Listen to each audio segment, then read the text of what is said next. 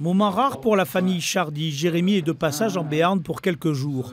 Après une année passée sur tous les cours de tennis du monde, le Palois termine au 31e rang du classement ATP, une stabilité depuis 4 ans parmi les meilleurs mondiaux.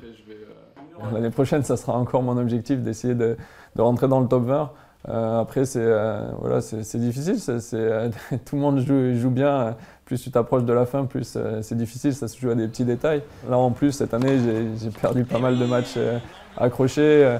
7-6 au troisième, des, des, matchs comme ça qui, si je les avais gagnés, auraient pu faire une différence. Cette saison, sa meilleure performance reste le tournoi de Montréal avec une demi-finale perdue contre le numéro 1 mondial, Novak Djokovic.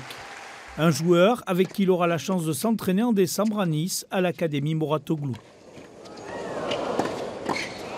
S'il est numéro mondial, c'est qu'il est dans le juste. Donc de, passer des, jours entiers d'entraînement avec lui, euh, à faire les mêmes séances que lui, ben, ça permet déjà de voir l'intensité, euh, la manière dont il s'entraîne, et puis euh, d'être en face, ça te, permet de, te pousser. Jérémy Chardy a fait deux huitièmes de finale en Grand Chelem.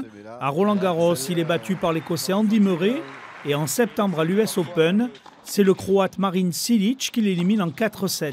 En 2016, le Palois a de nouvelles envies entre Jeux Olympiques et Coupe Davis.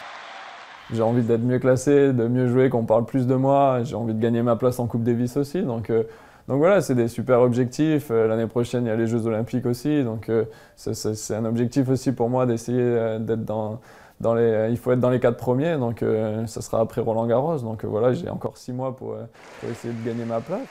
Jérémy Chardy reprendra la saison officielle en janvier au Qatar à Doha, avant de disputer le tournoi du Grand Chelem à Melbourne en Australie.